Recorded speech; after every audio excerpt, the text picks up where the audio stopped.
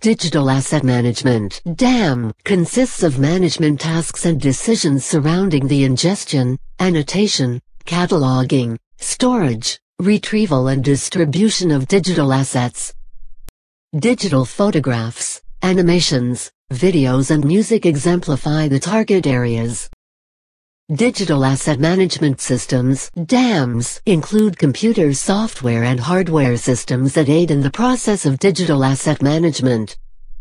The term Digital Asset Management DAM also refers to the protocols for downloading, renaming, backing up, rating, grouping, archiving, optimizing, maintaining, thinning, and exporting files or other binary data.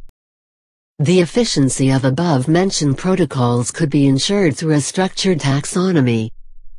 The Media Asset Management MAM, subcategory of digital asset management mainly addresses audio, video and other media content. The more recent concept of Enterprise Content Management ECM often deals with solutions which address similar features, but in a wider range of industries or applications. Smaller DAM systems are easier to categorize as to content and usage since they normally operate in a particular operational context. This would hold true for systems attached to audio or video production systems.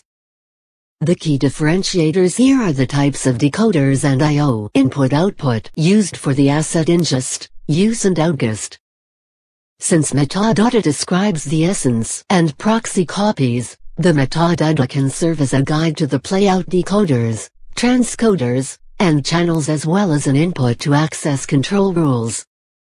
This means that the essence can be treated as a non-described storage object except when being accessed for viewing or editing. There is relevance to this when considering the overall design and use of larger implementations. The closer the asset is to the ingest edit playout tool, the greater the technical architecture needs to accommodate delivery requirements such as bandwidth, latency, capacity, access control, availability of resources, etc. The further the asset moves into a general storage architecture, for example hierarchical storage management, the more it can be treated as a general blob binary large object that is typically held in a file system, not in a database. The impact of this set of needs means that it is possible and reasonable to design larger systems using smaller, more expensive performance systems at the edge of the network where the essence is being used in its intended form, and less expensive systems further back for storage and archival.